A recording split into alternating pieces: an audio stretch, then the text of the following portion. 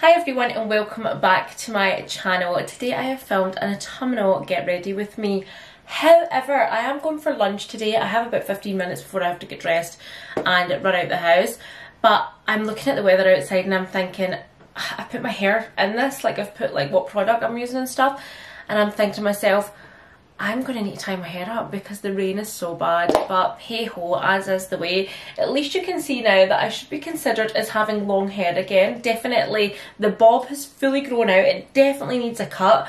But in the meantime, I have just popped in what I've been using in that um, and I've done this autumnal makeup look using warm tones versus the cool tones in my last video so hopefully this is a bit of a, a kind of contrasting look of what I've done with the Vieve 90s palette and this is featuring the new Huda Beauty Empowered palette.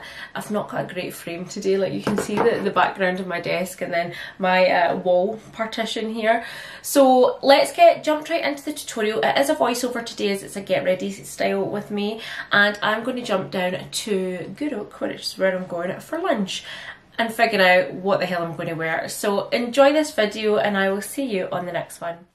Okay, let's get started with doing a little bit of hair prep. So I'm using my Tangle Teezer to comb through, loosen any knots, and then I tried the Pureology Volume Lifting Mist to be honest with hair as fine and as flat as mine. It didn't really do much, but it did make my hair super silky.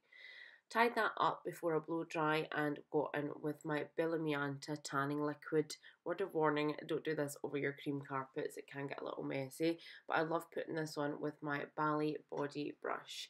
Getting right into the ears, I usually leave the face, and I'm going right in now with the Glowish Jam Blur Primer. Yes, you heard right. This is called the Blur Jam or Jam Blur. I can't remember primer.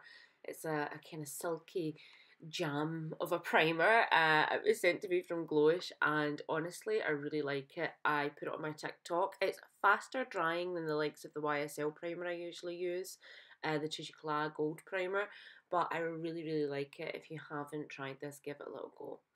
Then my trusty All Hours by YSL foundation. Still loving the new formula. Still think for me when my skin needs a little bit extra coverage, this is the foundation I go for. It's my night out foundation. It really is my go-to for really blown out blank porcelain skin. If you love that heavy duty foundation look without feeling like you're wearing a mask, this is the perfect foundation for you. I'm actually wearing the shade MN8, which is medium neutral 8. covers all my redness. It's got that SPF 39 in there and no white pigment. So even though it's a high SPF, you get no flashback from it. Then we're doing this face mapping I've seen this all over TikTok. I wanted to give it a little try. I didn't want it to be so much because I was. I, if you've watched any of my videos before, you'll know that I don't like making marks on my face and then trying to blend them because I think they don't blend right. So what I did was I done the marks and then blended, but I done it with Touche Éclat, which is a softer highlighting pen rather than a concealer. A concealer gives you the coverage, it sets down, it can actually oxidize around the, the marking you've made. So I decided to try it with Touche Éclat because it's a little bit more flexible, the coverage isn't as high, and obviously it's an illuminating wand, so it actually is for highlighting and lifting. So I done all of the areas I wanted to lift. Then I took my Vieve uh, Modern Radiance Concealer and I put some coverage into this now. So although I am making markings, I'm not making them as prominent as the, the lines that I've put up my face. And obviously the concealer is the parts that I will blend out first. So I'm putting them where I need extra coverage, my chin, the centre of my face, and then I done a little bit on the edges of my nose where I usually get rub off. So just really working on areas that I know I wanted more coverage and working around the radiance lift, looking rather crazy. Then going in with my All Hours foundation stick by YSL in B85. Uh, I love this for contouring. I'm putting just a touch. I decided to go a little bit heavier on the forehead because I did put my tan on so I could go a little bit fuller. Then I tried some new markings on my jaw and on my, how would you even call that? My my outer chin. I don't know. But this is what we ended up with. I decided I wanted to make my life easier by giving it a mist with the new YSL setting spray. It's very hydrating, so I decided this will help my beauty blender, my very old beauty blender. I need to get new beauty blenders. This is actually a Real Technique sponge. But as you can see, the final result was very lifted, very snatched, a softer version of a contour for me.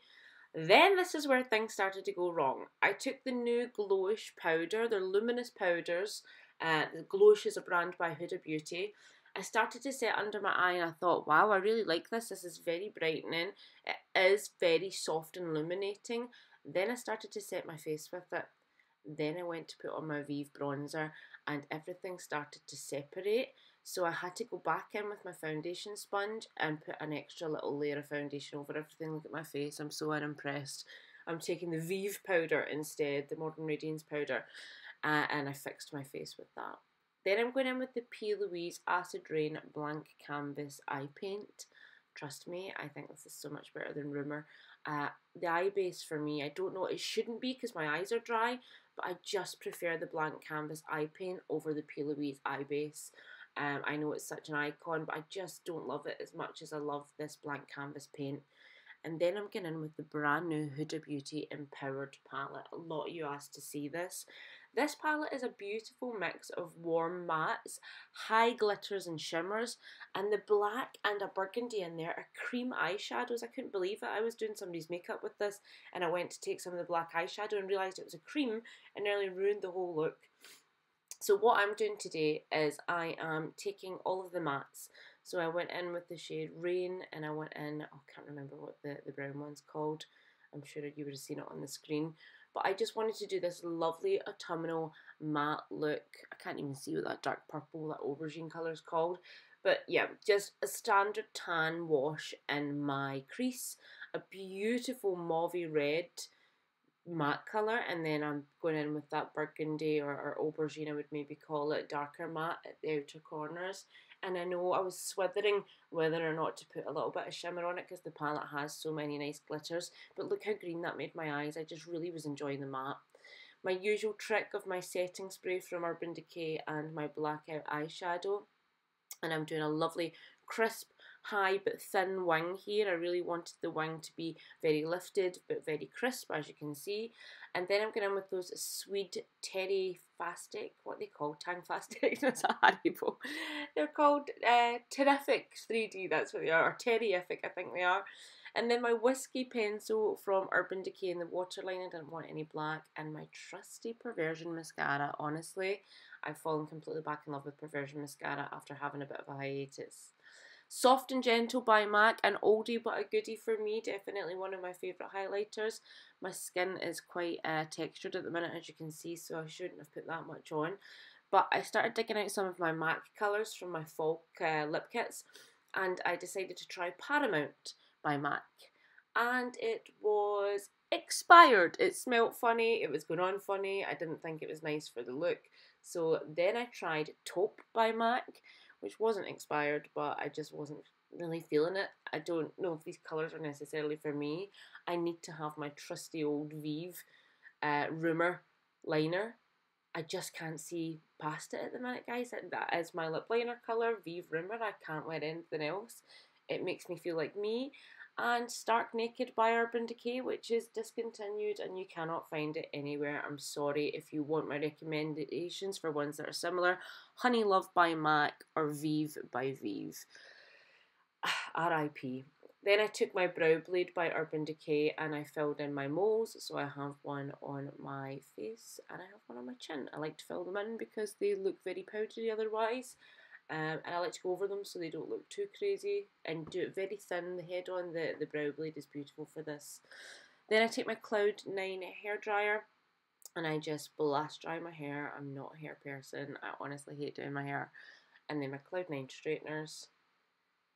And voila, we have the final autumnal look trying face mapping and some new products as well. I hope you enjoyed this and I'll see you on the next one.